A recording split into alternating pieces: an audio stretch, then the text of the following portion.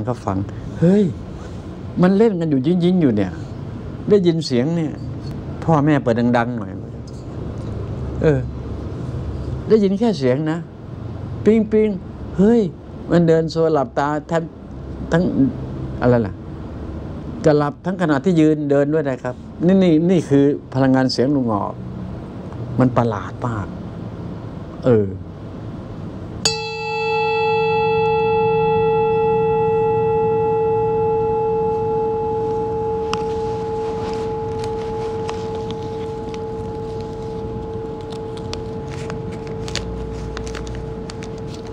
เห็นไหมแค่เนี้ยทำให้ลูกหลานหลับได้ง่าย เออ เฮ้ย มันขนาดได้เลยเสียงลุงหอกเลยฮะ เสียงที่ลุงหอกปฏิบัติการอยู่เลยลองทีครับ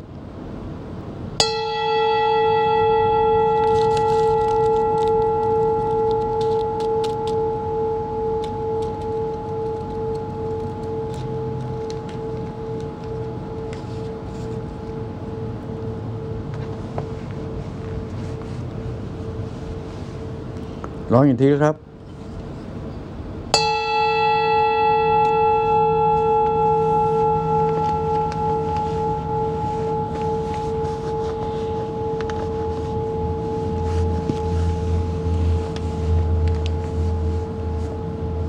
พออยัง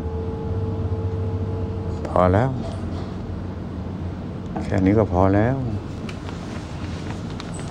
เห็นไหมนั่นคือสิ่งหนึ่ง มันก็ประหลาดครับ เสียงผมมันเป็นอย่างนั้นจริงๆ อะไรอยู่ซ่อนอยู่ในเสียง ผมก็พูดจังนะ ว่าเป็นพลังงานที่บริสุทธิ์ซ่อนอยู่ในเสียง เสียงมันเป็นพลังงาน พลังงานเสียง แสงนี่คือพลังงาน พลังงานแสง ความร้อนคือพลังงาน พลังงานความร้อน แต่ณวันนี้คำว่าพลังงานพลังงานอยู่ในความร้อนอยู่ในแสงอยู่ในเสียงนั้น มันเป็นพลังงานที่บริสุทธิ์ แล้วพลังงานที่บริสุทธิ์มันเปล่งเสียง มันก็เลยทำให้ใครได้ยินเข้าหูสู่ใจ มันจะไปปรับขึ้นหัวใจเหลือเชื่อมากครับ มันไปมันเองโดยธรรมชาติมันเอง มันเป็นธรรมดาเป็นธรรมชาติลองเงี่ยหูฟังให้ดีนะครับ ธรรมดาธรรมชาติ ราะเสียงมันไม่ใช่ภาษา ภาษายังมีคำสุภาพไม่สุภาพ ภาษายังมีคำว่าสุภาพกับไม่สุภาพ เออ เออ มันต้องคิดวิเคราะห์ภาษา เสียงที่ว่าไม่ต้องไปวิคิดวิเคราะห์อะไรเลย เออ แต่มันมีผลน่ะ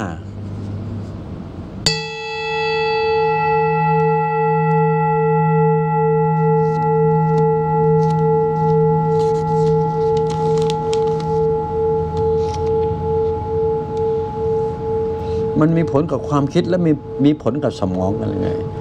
มันเป็นมหัศจรรย์ไปแล้วครับรู้ไหมไม่ต้องเสแสร้งแกล้งทำโอ้โหเพลนๆง่าย ๆ เลยเนี่ยไม่มีประดิษฐ์ประดอยอะไรจริงๆเนี่ยก็ต้องบอกว่าใครน้อยเป็นคนเอามาให้ผมเนี่ย ยังไม่รู้ว่า เออ อยู่ๆก็มันเห็นอยู่ใน เออเอาจริงๆนะ ผมไม่เคยซื้อสิ่งพวกนี้นะให้รู้ ไม่เคยเลยจริงๆ ก็ไม่รู้ว่ามันจะใครเป็นคนเอามาให้ เอ้ย เวลาใช้แล้วมันมันนิ่งยิ่งกว่าไอ้ไอ้ของทิเบตอะไอ้ของทิเบตก็มาถูอย่างเงี้ยนี่ทิเบต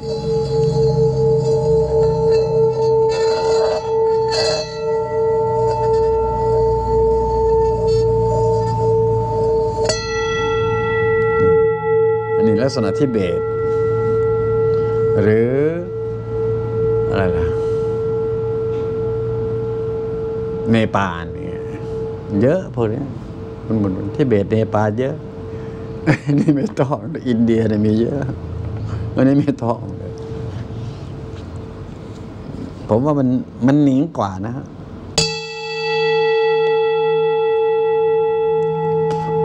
มันแหลมคมลึกกว่า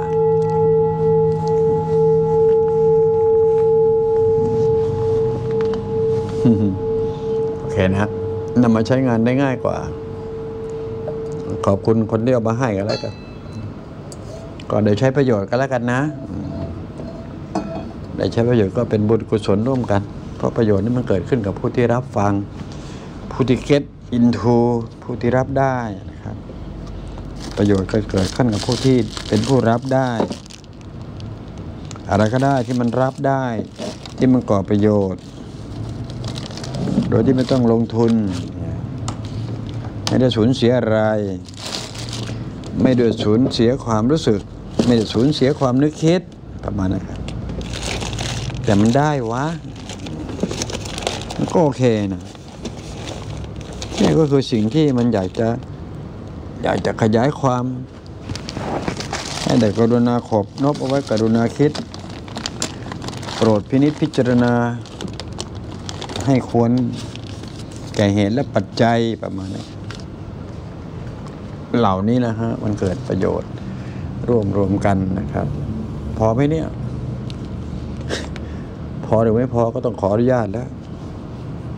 ไผเดอร์ที่อยู่หน้าจอเนี่ย เอาเฟซก่อนนะพี่นะ เดี๋ยวเดี๋ยวเปิดเฟซ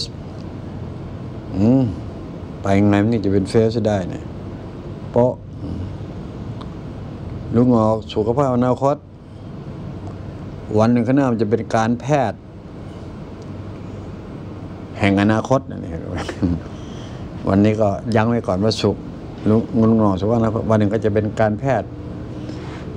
แห่งอนาคต เพราะอนาคตมันจะไม่ใช่พลังงานรักษากันละกัน พลังงานเนี่ยเพราะ โรคโรคจะเกิดจากพลังงานพวกนี้นะครับ โรคที่เกิดกับมนุษย์จะเกิดมาจากกับพลังงานพวกนี้ พลังงานคลื่นเนี่ยคลื่นความถี่มือถือมือถอยเนี่ยในโรคมันจะมาพวกนี้ เพราะฉะนั้นสิ่งที่มากำจัดโรคที่ว่านั้นต้องใช้พลังงานที่บริสุทธิ์ เพราะฉะนั้นนี่คือการแพทย์แห่งอนาคต แปลว่าปัจจุบันจะตกยุคไปถือโอกาสเล่าครับว่าปัจจุบันใช้ฟังก่อน เดิมเดิมเดิมทีนะครับไอการเยียวยารักษามนุษย์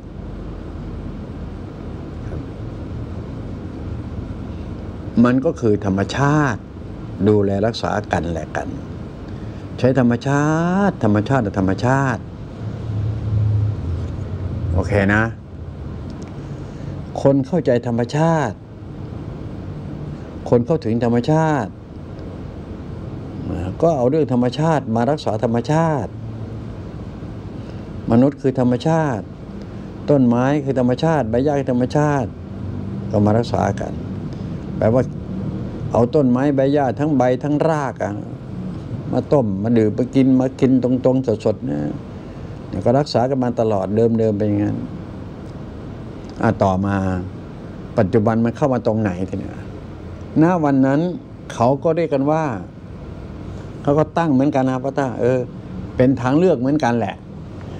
วิทยาศาสตร์ณวันนั้น